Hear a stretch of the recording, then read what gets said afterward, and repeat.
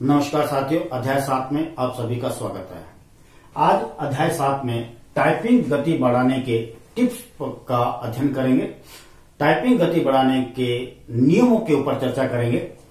जहाँ तक मैं समझता हूँ, ये सात नियम हैं जिनका आपको ध्यानपूर्वक अमल करना चाहिए। सबसे पहला है आपके बैठने का पोस्टर दूसरा है कीबोर्ड पर उंगलियों की स्थिति। तीसरा बिगनर्स के लिए कुंजियों का संचालन। चौथा कीबोर्ड को देखकर टाइप न करें। पांचवा बैकस्पेस प्रयोग नहीं करना है। छठा एंटर और माउस का प्रयोग नहीं करना है। सातवां बार बार अभ्यास करना है और टाइमर से गति चेक करनी है।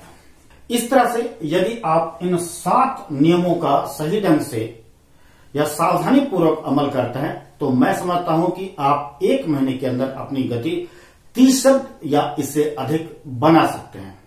सबसे पहले बैठने का पोस्टर बैठने के पोस्टर के बारे में आपको मैं बता दूँ कि आप जब कंप्यूटर पर टाइप करने के लिए बैठते हैं, तब आपकी कमर बिल्कुल सीधी होनी चाहिए।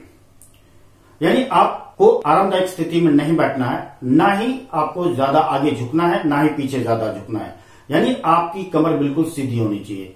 यदि आपकी कमर सीधी होती है तो आप अधिक देर तक बैठकर टाइप अभ्यास कर सकते हैं। दूसरा आता है, कीबोर्ड पर उंगलियों की स्थिति। जैसा कि आपको पता है, आपके कीबोर्ड के ऊपर 47 कुंजियाँ होती हैं। चाहे आप अंग्रेज़ी में टाइप करें या हिंदी में टाइप करें 22 कुंजियाँ आपने लेफ़्ट हैंड से करनी है और 25 कुंजियाँ आपने राइट हैंड से करनी है। लेफ़्ट हैंड आपका ईएसडीएफ के ऊपर रहेगा, राइट हैंड आपका कोलन एलजे के ऊपर रहेगा। जब आप टाइप करते हैं तो आपकी हथेली टेबल से थोड़ी ऊपर होनी चाहिए। यानी हथेलियाँ टेबल पर नहीं टिकी होनी चाहिए। यदि हथेली आपकी टेबल पर टिकी होगी तो आप उंगलियों को सही ढंग से नहीं चला पाएँगे।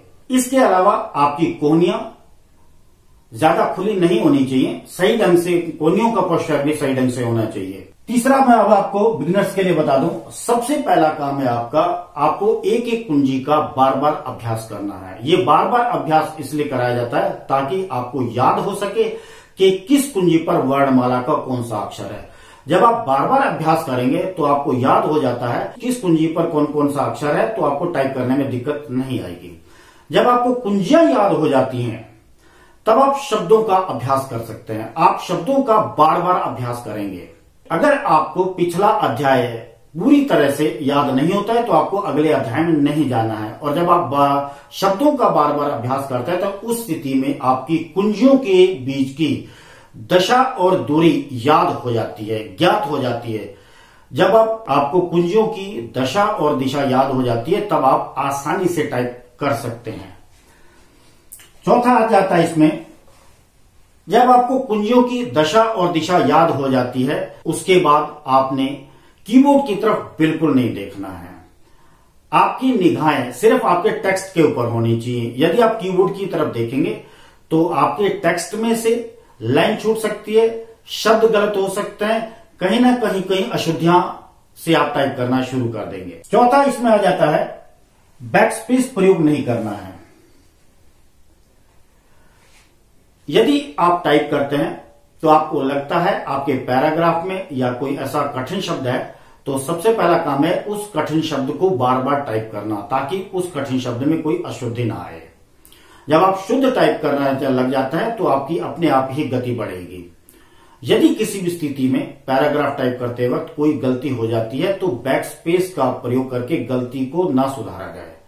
यानी जैसे आप टाइप करते हैं, उससे आगे बढ़ते जाइए बैक स्पेस का प्रयोग आपको नहीं करना यदि आप बैक स्पेस का बार बार प्रयोग करते हैं, सबसे पहला काम होगा कि आपकी गति नहीं बढ़ेगी, और जब आप बार बार बैक स्पेस का प्रयोग करेंगे, उस स्थिति में भी आपकी लाइन छूटने का या शब्दों का गलत टाइप होना शुरू हो जाएगा तो आपको इससे बैक स्पेस के प्रयोग से बचना है बैक स्पेस का प्रयोग नहीं करना है। छठा इसमें आ जाता है कि आपको माउस का प्रयोग नहीं करना है। किसी भी स्थिति में आपको टाइप करते वक्त माउस का प्रयोग नहीं करना है। और जब आप पैराग्राफ टाइप करते हैं तो एंटर का प्रयोग भी नहीं करना है। एंटर का प्रयोग केवल एक स्थिति में कर सकते हैं। जब आपको पैराग्राफ चेंज करना है, तब आप एंटर का प्रयोग कर सकते हैं। अब आता है सातवां और मेन नियम। जैसा कि मैंने अभी पहले बताया, सबसे पहला काम है आपने एक एक कुंजी को याद करना है। दूसरा काम है शब्दों का अभ्यास करना है ताकि आपको कुंजियों की दशा और दिशा की दूरी का ज्ञात हो सके।